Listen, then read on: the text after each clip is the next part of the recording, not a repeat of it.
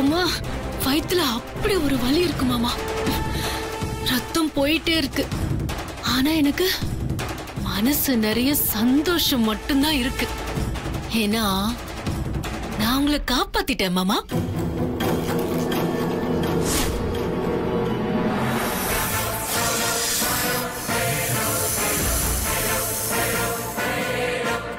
Hello ஒரு emergency case நாங்க ஹாஸ்பிட்டலுக்கு தான் வந்துட்டு இருக்கோம் கொஞ்சம் வாசலுக்கு ஸ்ட்ரெச்சர் கொண்டு வரீங்களா?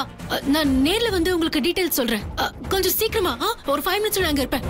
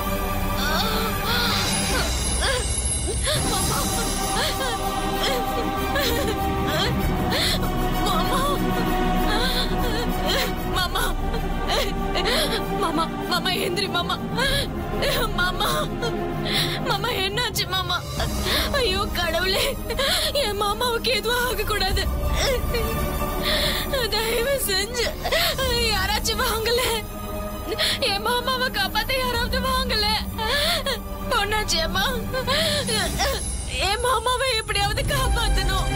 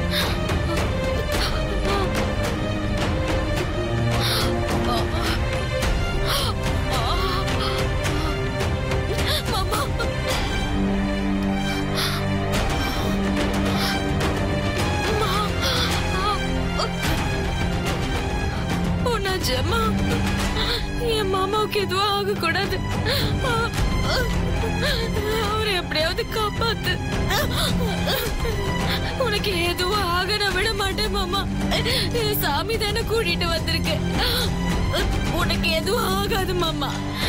நீ கண்டிப்பா பொழைச்சிருவ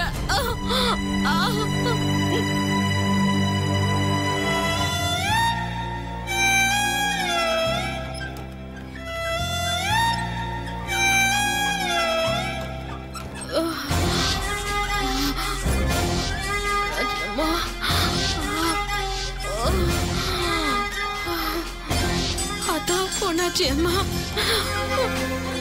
எப்படியாவது என் மாமாவை காப்பாத்து.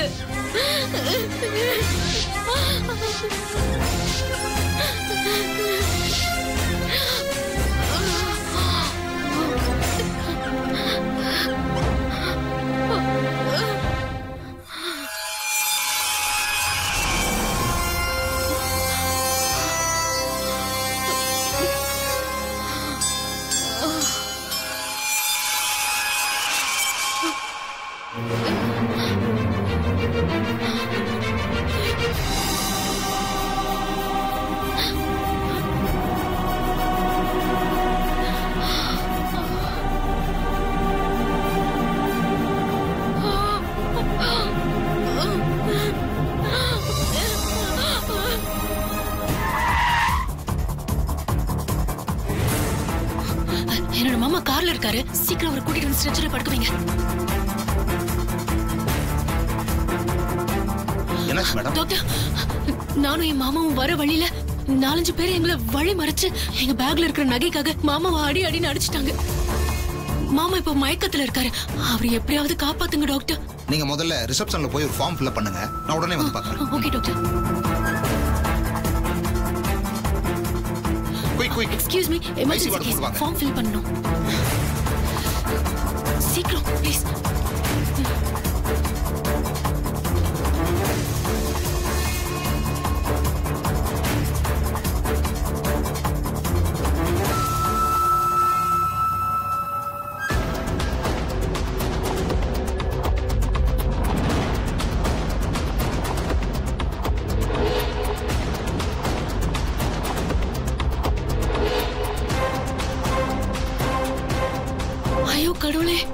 என் மாமாவுக்கு ஒன்னும் ஆயிடக்கூடாது. நீதான் அவரை நல்லபடியா காப்பாத்தணும். டாக்டர் என் மாமாவுக்கு ஒன்னும் இல்லைல்ல? நீங்க ஒண்ணும் பயப்படாதீங்க. எல்லா டெஸ்டும் எடுத்துக்கிட்டு இருக்கோம். நல்லபடியா குணப்படுத்திடலாம் ஓகே?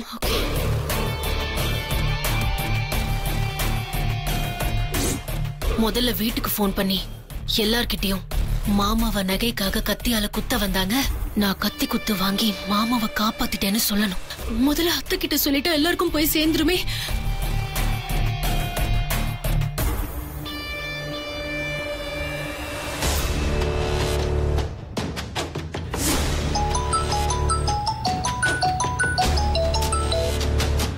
சொல்லு ஸ்வேதா. அத்தை. ஸ்வேதா என்னாச்சுமா நானும் மாமாவும் நகையோட வீட்டுக்கு வந்துகிட்டு இருக்கிறப்போ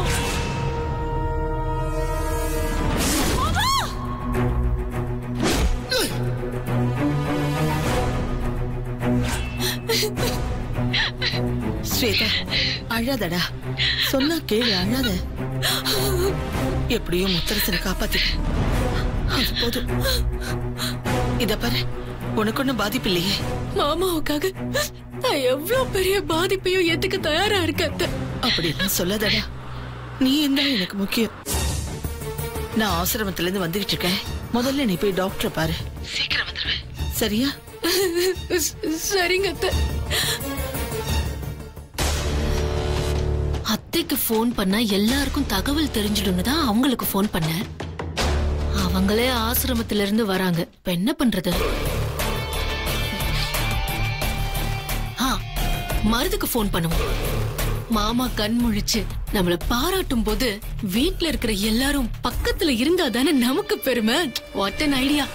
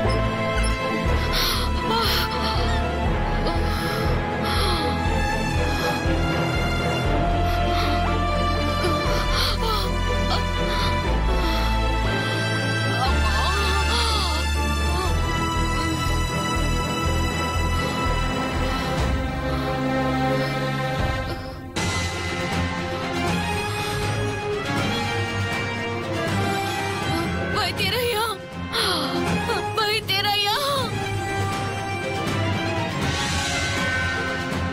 அம்மா வைத்தியரையா ஐயா வைத்தியரையா அவசரம் சீக்கிரம் வாங்க. என் மாமாவை காப்பாத்துங்க. வெளியில யாருக்கோ ஏதோ பிரச்சனை போல இருக்கு. போய் என்னன்னு பாருங்கப்பா. சரிங்கய்யா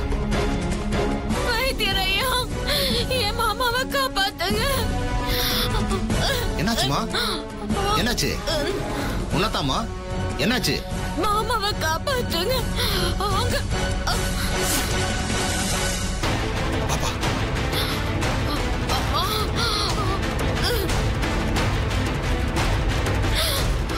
உனக்கு என்னம்மா ஆச்சு? ஐயோ உனக்கு ஏதோ அடிபட்டிருக்கு போல இருக்குமா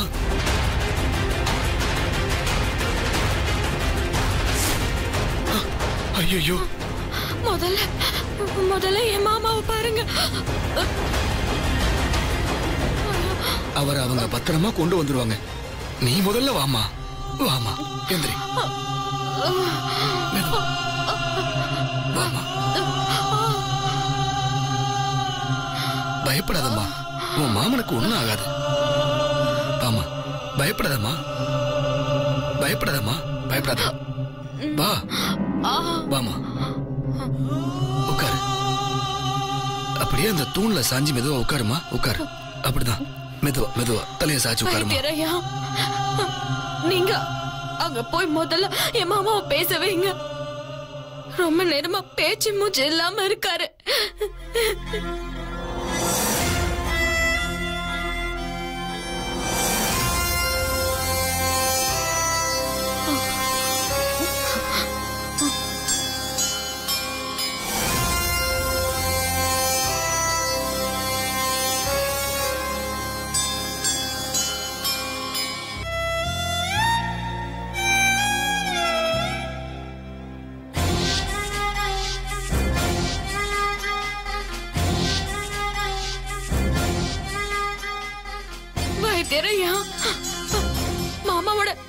மேலதான் பலமா அடிச்சிட்டாங்க.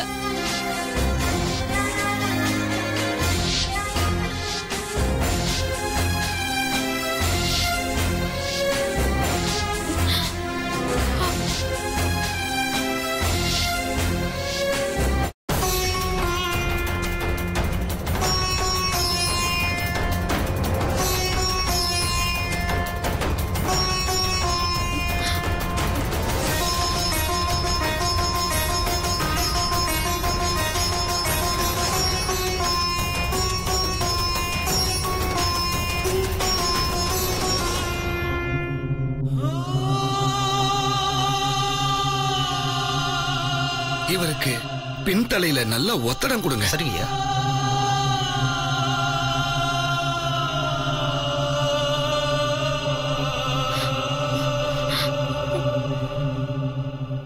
அவரை பார்த்துப்பாங்கம்மா. நீ வாம்மா. நீ சொன்ன மாதிரியே உன் மாமாவுக்கு முதல் கட்டம் வைத்தியம் பண்ணியாச்சு. உனக்கும் பெருசா அடிபட்டு ரத்தம் நிறைய போயிருக்கும் போல இருக்கே. வாம்மா வந்து இப்படி படு. உனக்கும் வைத்தியம் பார்க்கணும்.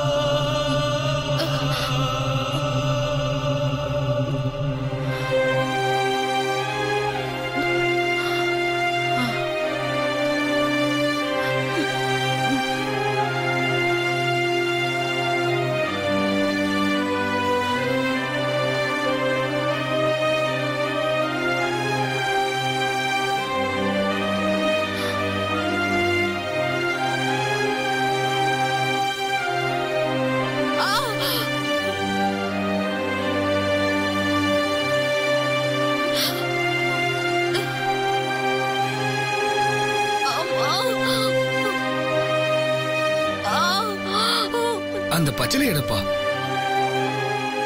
நானும் எத்தனையோ நோயாளிகளை பார்த்திருக்கேன். ஆனா உன்கிட்ட இருக்கிற தைரியத்தை நான் வேற யார்கிட்டயும் பார்த்தது இல்லம்மா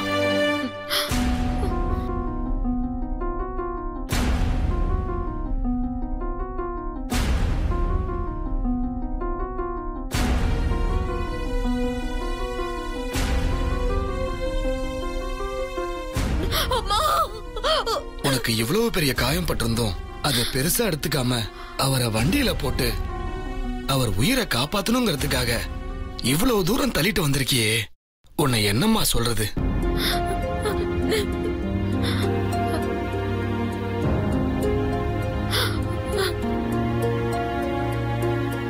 ஏம்மா உனக்கு எதிர்பாராத விதமா ஏதாவது ஆயிருந்தா என்னம்மா பண்றது? இல்ல வைத்தியரையா என் உசுர இருக்கிறது. என் மாமா கிட்டதான். என் மாமா கண்ணு முழிச்சு வர வரைக்கும் எனக்கு எதுவுமே ஆகாது.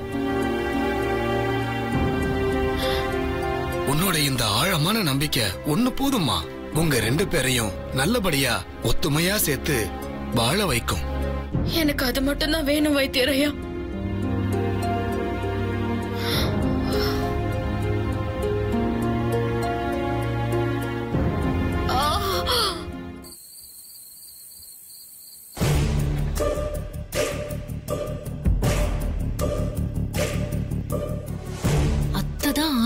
இருந்து வந்துட்டு இருக்கேன்னு சொன்னாங்க. ஆசிரமத்துல இருந்து வர லேட் ஆகும். வீட்ல இருக்கிறவங்களுக்கும் தகவல் சொல்லியாச்சு. அவங்க ஏன் இன்னும் வரல? சீக்கிரம் வந்தா தானே அவங்க முன்னாடி அழுது ஆர்ப்பாட்டம் பண்ணி நடிக்க முடியும்?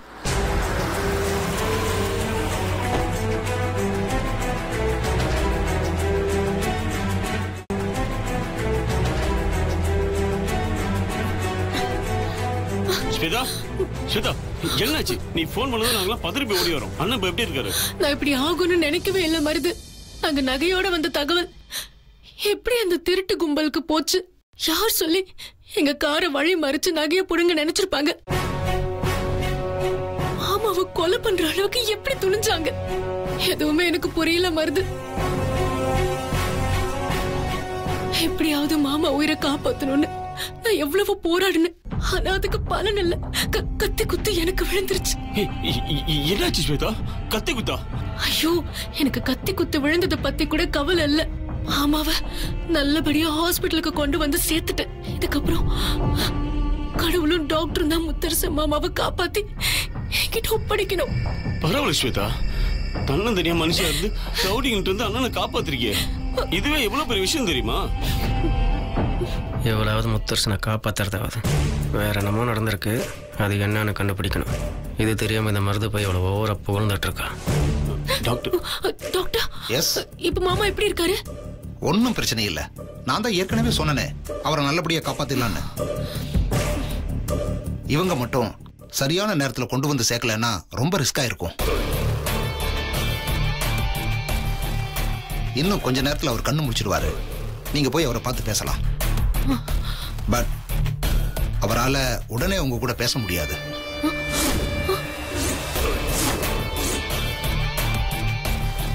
ஏன் டாக்டர்?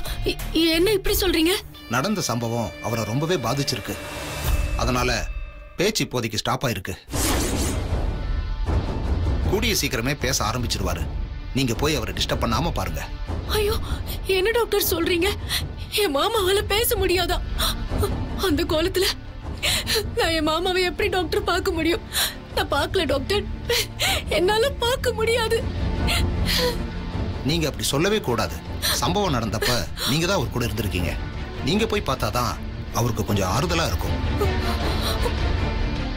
உங்களுக்கு ஒன்றும் ஆகலைன்னு அவருக்கு தெரிஞ்சாலே முழுசா குணமாயிடுவாரு. அதுக்காகவாவது நீங்க போய் பார்க்கணும். இல்ல டாக்டர். என்னால பார்க்க முடியாது. ஸ்வேதா. அதான் டாக்டர் அண்ணனுக்கு ஒண்ணும் இல்லை நல்லா ஆயிடுன்னு சொல்லியிருக்காருல்ல. ஃபீல் பண்ணாத. வா வா போய் பார்க்கலாம். இல்ல மருது என்னால மாமாவை அப்படி பார்க்க முடியாது. மாப்பிள்ள தம்பி இவளை பார்த்தீங்களா? இவ ஏதோ பண்ணியிருக்கா ஆனால் எதுவுமே தெரியாத மாதிரி ஒவ்வொரு சென்டிமெண்ட்டாக நடிச்சிட்டு இருக்கா. அழாம தைரியமா போய் பாருங்க.